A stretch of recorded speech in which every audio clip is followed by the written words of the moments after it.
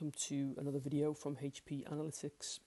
We're going to look today at analysing some data and this is to do with uh, sports betting which is a bit of a hobby of mine um, and I thought it's useful to get an insight into how to figure out where to put your money on certain markets. Um, I often like to go into markets at half time and I'm hopefully going to show you how you can prepare for that. What we have here is we have some raw data from a website that I use, uh, Football Data. I'll post a link and this is all the raw data here. We're only going to use columns A to I as that's what we need. These columns here are the home teams, the away teams, the full-time home goals and the full-time away goals, which is effectively the full-time result. The actual full-time results, so whether it was an away, a draw or a home. These are the half-time home goals and half-time away goals, so the half-time score, effectively, and this is the half-time result, whether it's a draw, home or away. These two columns here are of particular interest to us, half-time home goals and half-time away goals, because the purpose of this video is for me to ascertain the number of goals, advantage or disadvantage a team will have at full time given the score at half time. So what I've done here is I've already got a query in here. Um, and for anyone who's familiar with SQL, um, you, you recognize this has a similar syntax to it in Google Sheets, but they call it query. If you don't have familiarity with SQL, that's not too much of a problem. It's quite easy to grasp. This looks a little bit complicated at the moment, but I can guarantee you it's not too complicated. And I can post any of the formulas if you need them. But I'm just basically going to go into how you can draw some conclusions from some raw data. So here we have a query that what I'm asking it to do is I'm asking it to tell us firstly of these teams I want to know the average number of goals at full time for both the home team and the away team when the score was even at half time. So we're trying to find out how effective teams are when they are drawing a half time in a full time position. So the query I've, I've put in here is um, so you type in basically first equals query and then you select your range raw data.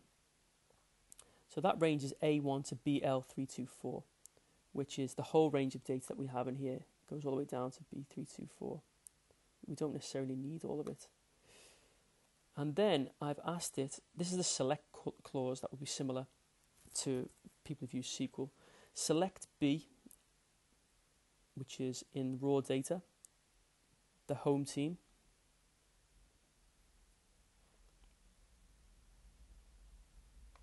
Here. Select the average of D, which is the average full-time home goals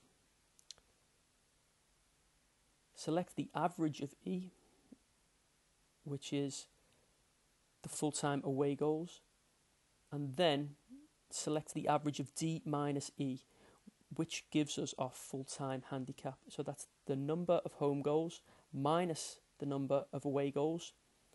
Full-time handicap will be 1.13. And the where clause here is really important because we only wanted to take into account games that are level at half time. So it says where G equals H. And if we go into our raw data, G and H are the half-time home goals and half-time away goals. So where they are equal to each other, so nil nil, one one, two two, three three, etc., we want to return the average of those goals and the full-time handicap. Um, we're grouping it by B here because we want, to, want it to be summarized by team, the average per team and this is just a label. We want to change the label of the average to full-time handicap. Um, this is really um, so. What's happened here is we've run this query, and what's said to us is it said when Arsenal are drawing their games at half time, they actually end the game on average 1.13 goals ahead of their opponent. Bournemouth, on the other hand, when they are drawing their games at half time, end up 0.5 goals behind their opponents. And I've just done some conditional formatting to see the ones that really stand out. So Chelsea here, at half time, if they're drawing their games, ends up 1.25 goals ahead of their opponent. So if you're drawing with Chelsea at Stamford Bridge at half time, look out because you're going to have a problem. What I'm going to do now is I'm going to change the formula slightly to show what the situation would be if the home team had a plus one advantage at half time. So I'm going to copy this f- query here. Actually, I think I've hit, got the title here. Yes, half time plus one lead. So I'm going to copy this query here and paste it in here. We might get a value error pop up. Sometimes that happens. Okay, we did. And what I'm going to do is the see it's gone out you see because our select raw data range has changed so it's not picking it up so I just need to check what that was in here. So it was A1 to BL324 so I go here and go A1 to BL324 now this at present is returning exactly the same query there's nothing different. But what I'm going to do in the home team section is I'm just going to change this where clause very very slightly so that the half-time score is where the home team is leading 1-0. So what I'm going to do is I'm going to say where G, which is the home team, where the, that's the column representing the home team half-time score, where G equals the H score plus 1. So there we go. So that has returned to us now where G are leading H one goals, where the home team at half-time is leading the away team by one goal at half time, and we'll see how this affects the handicap. Now, as you would expect, the handicap here for Arsenal has gone up by 0.12, where they were leading one goal. Now that makes that makes sense because you would think if it's if they're drawing a half time, 1.13 handicap at full time. If they're winning a half time, they've got a bit of momentum. The team may give up, so the average goes up slightly. We can see some pretty astounding numbers here. So Liverpool, on the other hand, when they're leading by exactly one goal at half time, they actually end up winning the game by 2.25 goals per game on average.